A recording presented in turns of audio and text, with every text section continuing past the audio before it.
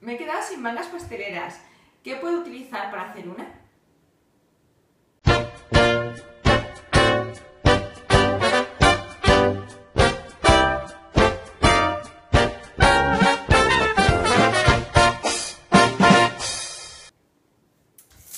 Podemos utilizar papel de hornear. Tenemos que cortar un triángulo, ¿vale? Con esta forma y pondremos para hacerla la punta hacia nosotras. Cogemos la punta de la derecha superior y la llevamos hacia el centro, girándola un poquito, ¿vale? Haciendo la forma de la manga. Y la punta de la izquierda la giramos hasta que coincida con las otras dos puntas.